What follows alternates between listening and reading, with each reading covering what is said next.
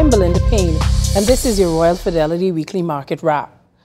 The local market ended this week with 28,610 shares crossing the exchange with 17 trades to accumulate to a value of $153,272.16.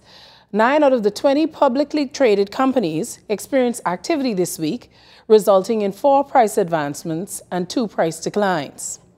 The lead advancer for the week was Commonwealth Brewery, trading 1,000 shares to close up 4.59% to $11.40 per share. The other advances were FOCOL, trading 4,405 shares to close up 1.1% to $3.69 per share.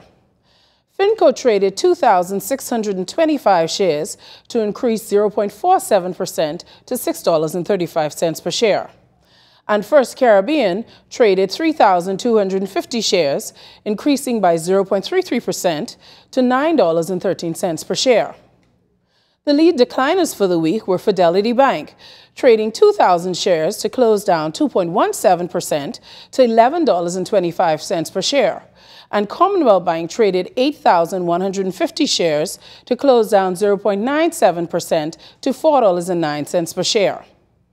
In local market news this week, AML released its unaudited financials for the quarter ended April 30, 2018. The company reported a net profit of 467,000 compared to 1.8 million in the previous year.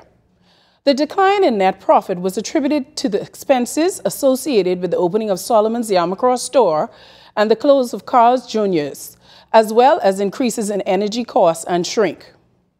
To view the company's financials, you can visit BISXBahamas.com.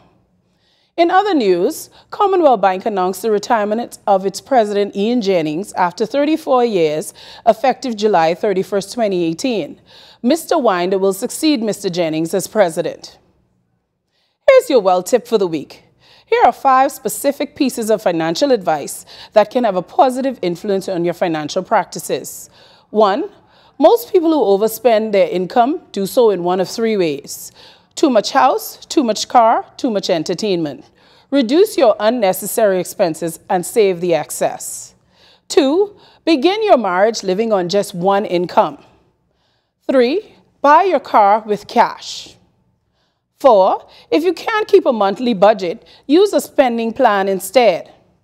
Five, one extra monthly payment per year on your mortgage shortens the length of your loans by years. Following these guidelines can lead to better money management. I'm Belinda Payne, and this has been your Royal Fidelity Weekly Market Recap.